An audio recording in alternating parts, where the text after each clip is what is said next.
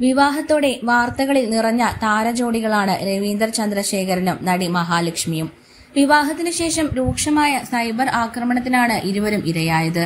അടുത്തിടെ ഇവർ വേർപിരിഞ്ഞതായി വാർത്തകളുണ്ടായിരുന്നു ഇപ്പോൾ എല്ലാ അഭ്യൂഹങ്ങൾക്കും മറുപടിയുമായി രവീന്ദർ ചന്ദ്രശേഖരൻ രംഗത്തെത്തിയിരിക്കുകയാണ്.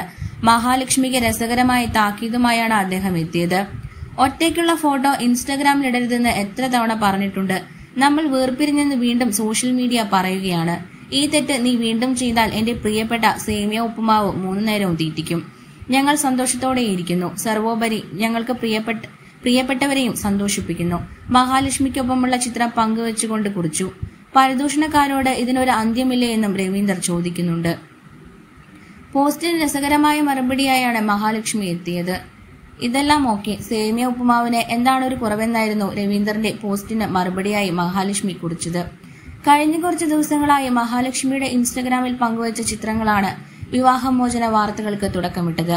മഹാലക്ഷ്മി ഒറ്റയ്ക്കുള്ള ചിത്രങ്ങളാണ് ഈയിടെയായി ഇൻസ്റ്റഗ്രാമിൽ പങ്കുവച്ചിരുന്നത്. പല പല ബ്രാൻഡ് പ്രൊമോഷനുകളുടെ ഭാഗമായി മഹാലക്ഷ്മി പ്രത്യക്ഷപ്പെടുന്നുണ്ടെങ്കിലും രവീന്ദ്രനെ കാണാൻ കഴിഞ്ഞിരുന്നില്ല. ഇതിന് പിന്നാലെ ഇരുവരും വേർപിരിഞ്ഞെന്ന വാർത്തകൾ പ്രചരിക്കാൻ തുടങ്ങി. കഴിഞ്ഞ വർഷം സെപ്റ്റംബറിലാണ് മഹാലക്ഷ്മിയും രവീന്ദർ ചന്ദ്രശേഖരനും വിവാഹിതരാകുന്നത്.